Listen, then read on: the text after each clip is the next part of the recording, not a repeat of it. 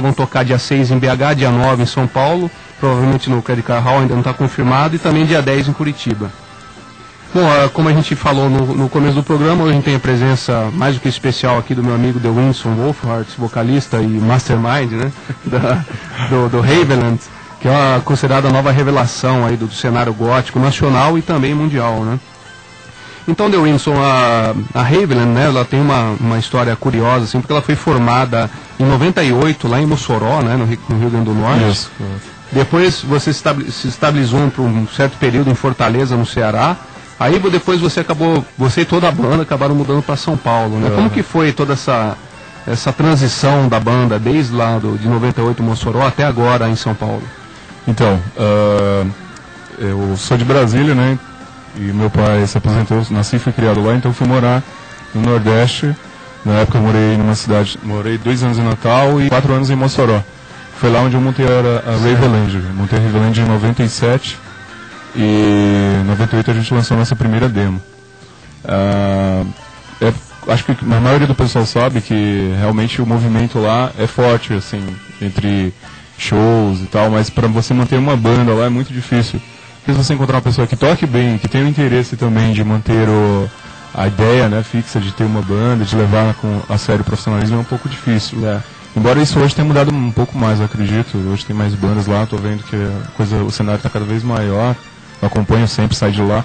Então eu morei quatro anos em Mossoró quando montei essa banda, o Raveland, e depois eu fui para Fortaleza, que aí nessa época foi quando o nosso batera veio para aqui para São Paulo para morar aqui e o guitarrista também um ano outro ano então a gente teve um problema com a gravadora também que parou fechou as portas Então vocês já, o, o Raveland já tinha um contrato com- assinado com uma Já. gravadora na época. Isso, a gente tinha um contrato com a Moon Shadows, que é a mesma gravadora do Obscure e outras, outras bandas, só que na época ela fechou ainda.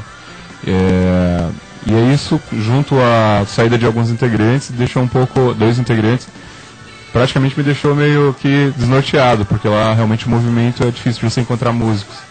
Aí eu fui morar em Fortaleza na época, morei por dois anos, e foi onde eu conheci a Camila. É, para quem não sabe, a Camila né, é a tecladista, Isso. violinista e também vocalista. né? e letrista também, Letrista. compositora É. também. Ela E faz também, e tudo, né? também esposa do Winston. Eu passei a ser praticamente uma participação na banda agora.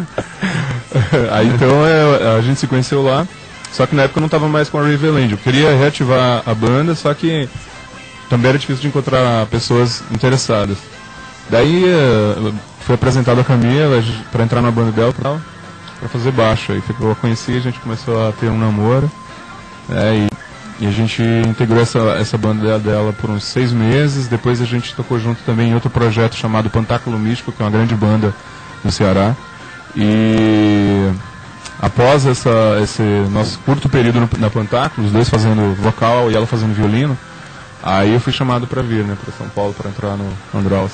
Drauzio. Então, isso que é, que, é, que é engraçado, porque o Alex Brito, né, que era o É. baterista do, do Ravenland, Isso. veio embora para São Paulo, entrou no Andraus, que é. uma banda de thrash metal, né? E depois você foi chamado para cantar thrash, né? Como foi assim para você que vinha de uma banda gótica, né? Foi, foi muito estranho, né? Então, porque eu, eu sempre curti todo tipo de metal, inclusive trash, eu sempre fui fãzaço do Slayer, e eu acho assim o, a pegada da, da banda do, do Alex, do, do Alexandre, né? Eu acho uma pegada bem Slayer, bem rápida e tal, fast trash que eles chamam. E na época o Alex tinha acabado de sair da banda por um problema que teve e, e era, acho que era uma coisa meio temporária. Mas aí ele foi e, e o Alexandre entrou em contato comigo e falou, ah, você é uma pessoa certa pra gente, que a gente tá precisando agora no momento, pra, que era pra fazer uma turnê sul-americana e uma apresentação na MTV, né? Aham. Daí então eu tava louco pra realmente encontrar algo profissional e joguei tudo pro alto e vim embora mesmo pra cá, pra gente fazer esse trabalho juntos. Daí depois em seguida eu trouxe a Camila também, dois meses depois, assim. Legal. E aí a gente reativou a Riverland e o Alex voltou pra, pra o Andraus, né?